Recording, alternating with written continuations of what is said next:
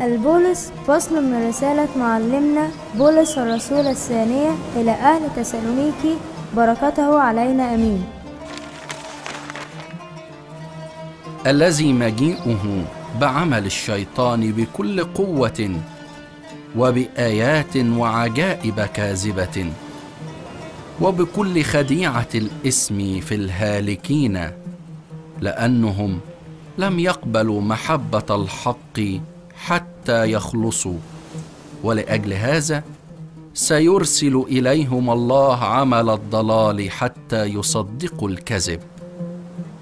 لكي يدان جميع الذين لم يصدقوا الحق بل سروا بالاسم وأما نحن فينبغي لنا أن نشكر الله كل حين لأجلكم أيها الإخوة المحبوبون من الرب. أن الله اختاركم من البدء للخلاص بتقديس الروح وتصديق الحق.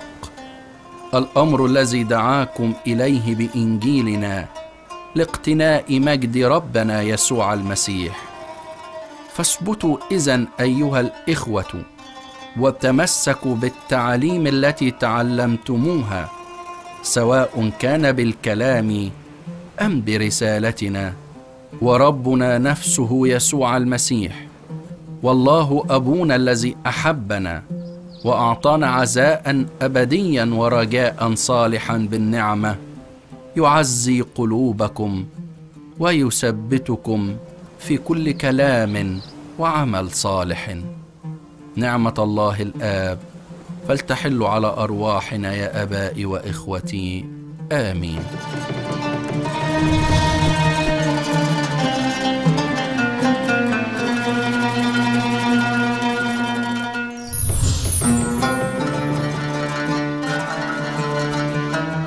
الكاثوليكون فصل من رسالة معلمنا بطرس الرسول الثانية بركته علينا أمين.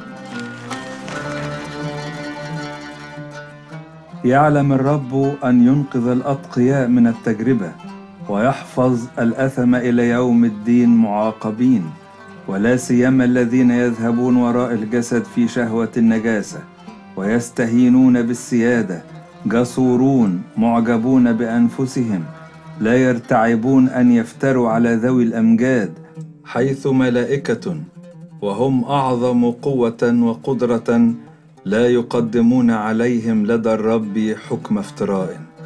أما هؤلاء فكحيوانات غير ناطقة طبيعية مولودة للصيد والهلاك يفترون على ما يجهلون فسيهلكون في فسادهم. آخذين أجرة الإثم. الذين يحسبون تنعم يوم لذة أدناس وعيوب يتنعمون في غرورهم صانعين ولائم معكم. لهم عيون مملوءة فسقا لا تكف عن الخطية. خادعون النفوس غير الثابتة لهم قلب متدرب في الطمع. أولاد اللعنة قد تركوا الطريق المستقيم فضلوا. تابعين طريق بلعام بن بصور الذي أحب أجرة الإثم. لا تحب العالم ولا الأشياء التي في العالم لأن العالم يمضي وشهوته معه. وأما من يعمل مشيئة الله فإنه يثبت إلى الأبد. آمين.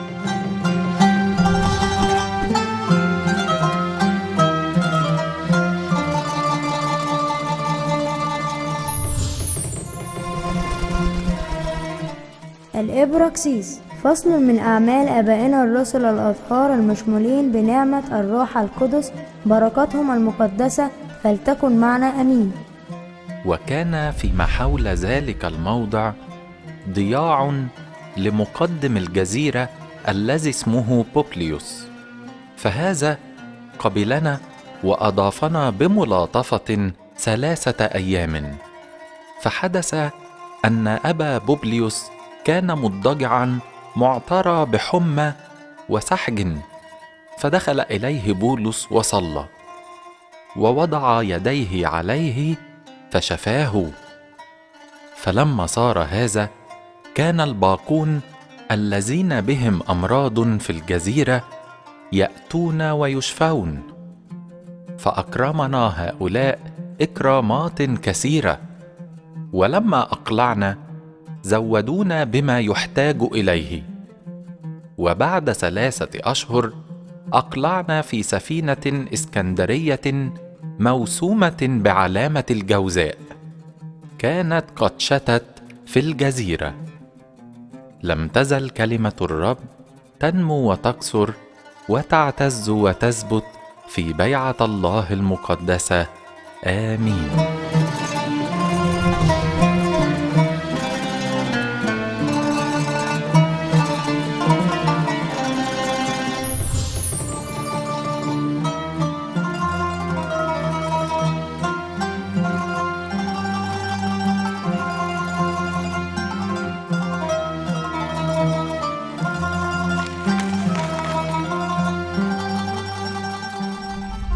النهاردة يا حبايبي 15 برمهات.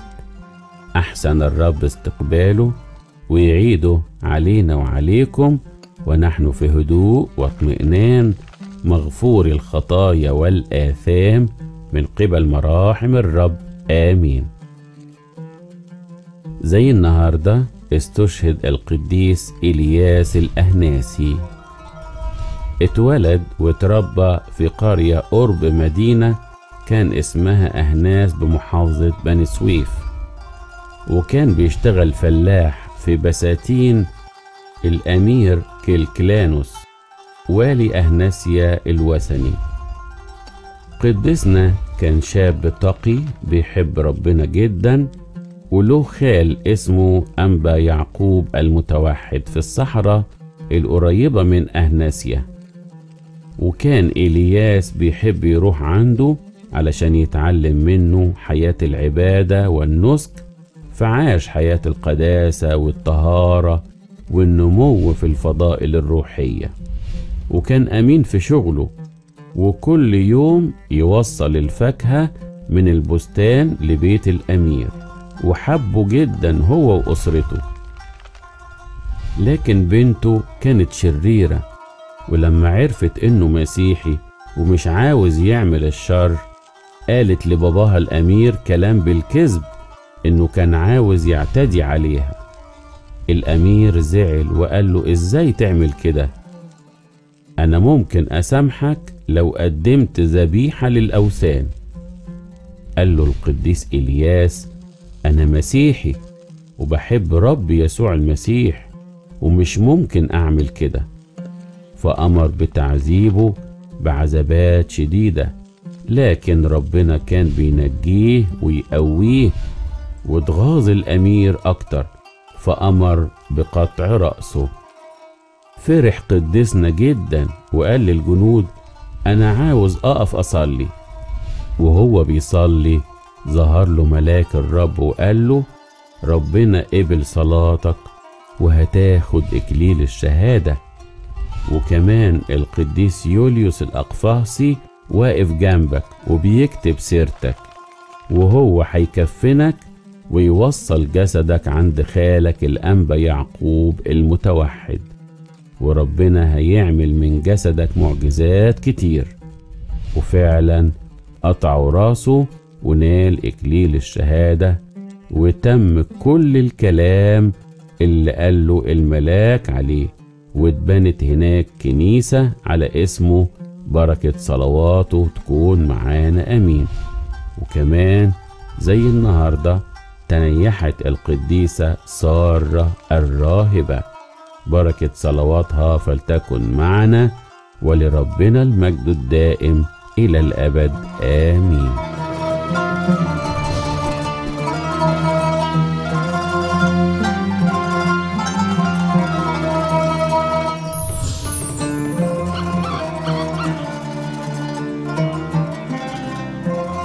من مزامير أبينا داود النبي والملك الطاهر بركات على جميعنا أمين.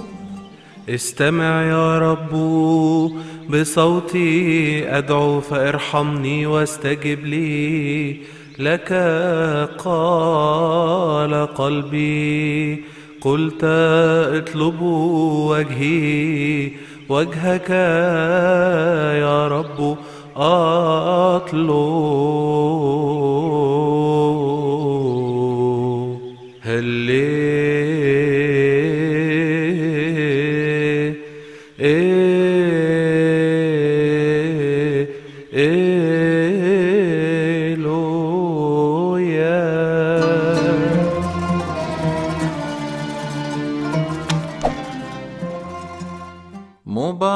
يكن هو الآتي باسم الرب. ربنا وإلهنا ومخلصنا وملكنا كلنا يسوع المسيح. ابن الله الحي الذي له المجد الدائم. إلى الأبد.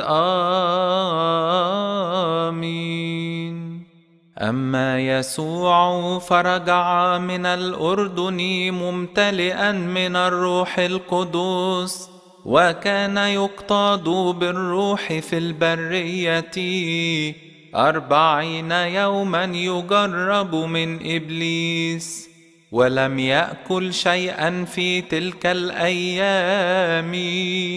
ولما تمت جاع أخيرا وقال له إبليس إن كنت ابن الله فقل لهذا الحجر أن يصير خبزا. فأجابه يسوع قائلا مكتوب أن ليس بالخبز وحده يحيا الإنسان. بل بكل كلمة من الله. ثم أصعده إبليس إلى جبل عال وأراه جميع ممالك المسكونة في لحظة من الزمان. وقال له إبليس لك أعطي هذا السلطان كله ومجدهن لأنه إلي قد دفع وأنا أعطيه لمن أريد. فإن سجدت أمامي يكون لك الجميع. فأجابه يسوع وقال اذهب يا شيطان إنه مكتوب للرب إلهك تسجد وإياه وحده تعبد ثم جاء به إلى أورشليم وأقامه على جناح الهيكل وقال له إن كنت ابن الله فاطرح نفسك من هنا إلى أسفل لأنه مكتوب أنه يوصي ملائكته بك لكي يحفظوك وأنهم على أيديهم يحملونك لكي لا تصدم بحجر رجلك. فأجاب يسوع وقال له إنه قيل لا تجرب الرب إلهك. ولما أكمل إبليس كل تجربة فارقه إلى حين.